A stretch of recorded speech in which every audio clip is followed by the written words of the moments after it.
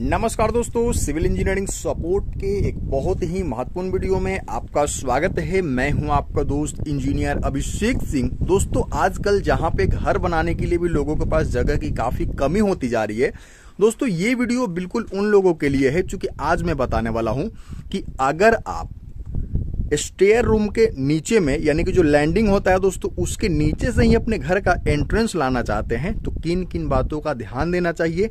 कौन कौन से केस आपके सामने आएँगे? हर चीज़ को हैंडल करना बताऊँगा। बसरते आप चैनल को सब्सक्राइब करके वीडियो को देखते रहिए। सबसे पहले दोस्तों बात कर लेते हैं। अगर आप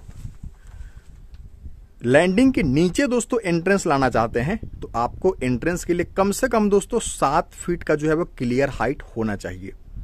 आमतौर पे लैंडिंग जो होता है वो पाँच फीट पे दिया जाता है, बीच में दिया जाता है। लेकिन अगर आपको इस तरीके से एंट्रेंस लाना है तो पाँच फीट का एंट्रेंस बहुत छोटा हो जाएगा। कम से कम सात फीट का होना चाहिए तो इसलिए लैंडिंग का हाइट कम से कम सात फीट पे होना चाहिए। ठीक है?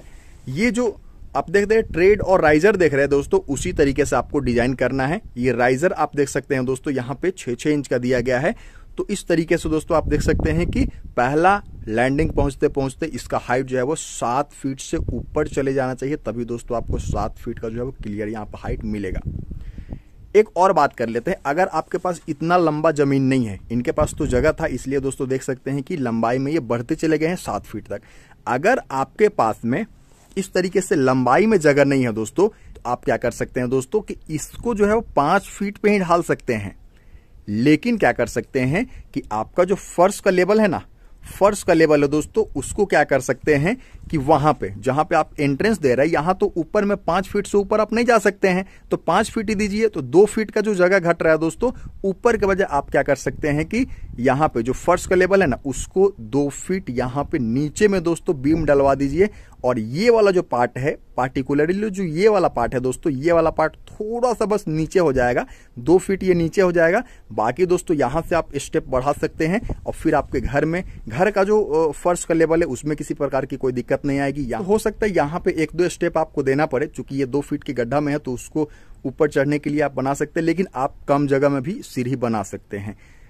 सात फीट, और नहीं तो दोस्तों ऊपर से मैनेज कीजिए, इसको लंबाई बढ़ा करके अगर जगह कमी है दोस्तों, पाँच फीट का जगह है तो आप क्या कर सकते हैं कि नीचे में ही दो फीट का व्यवस्था कर सकते हैं। ये जो बीम है ना, ये जो ग्राउंड बीम है, वहीं से दोस्तों आप क्या कर सकते हैं कि देख सकते हैं कि दो फीट हमको नीचे में ही एडजस्ट करना, वहाँ पे एक बीम दिलवा सकते हैं या फिर डीपीसी दिलवा सकते हैं।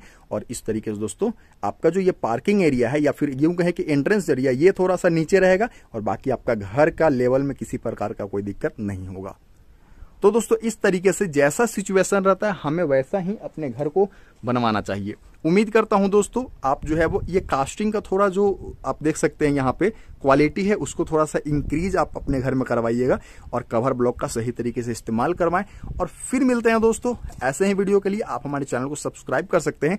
क्योंकि ये जो वीडियो है दोस्तों, ये बिल्कुल जो है वो जेनविन और रियल वर्ल्ड में जो भी हो रहा है दोस्तों, उस पर बेस्ड है, ठीक है? ये चीज़ें सबके सामने पेश आती ही है। इसलिए मैंने सोचा इस पर एक वीडियो बना दिया जाए। तो फिर मिलता हूँ। मुझे दीजिए इजाज़त। नमस्कार। धन्यवाद दोस्तों।